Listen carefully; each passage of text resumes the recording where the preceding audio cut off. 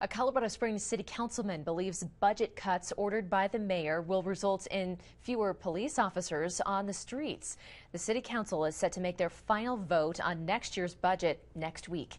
KRDO 13's Annabelle Childers is live at City Hall to explain what the councilman, mayor, and police department are saying now. Annabelle. The mayor's 2024 budget requires all city departments to cut their budgets by 3.4%. City Councilman Dave Donelson is calling for a halt on that vote tonight. He argues that this budget directly contradicts the city's commitments to public safety. Now, within that budget, it outlines the requirements for the police department. They will reduce the number of training academy recruits in each 2024 class to make the budget cuts work. The chief says this will reduce the number of overtime hours they can pay their officers.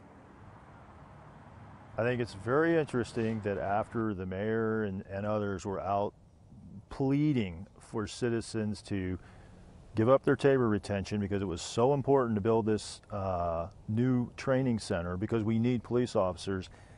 Right now, we're about to vote uh, the second time on this budget, and in there, the police chief is telling us they're going to cut the size of the classes in 2024. The mayor's office and the police department say the current budget includes enough overtime funding to fill all overtime hours needed to meet staffing levels and address immediate concerns. CSPD says it will not reject qualified training candidates due to budgetary concerns. Instead, they believe the training classes will be smaller due to less applications coming in. The council is set to vote on this budget next Tuesday. Reporting live at City Hall, Annabelle Childers, KRDO 13.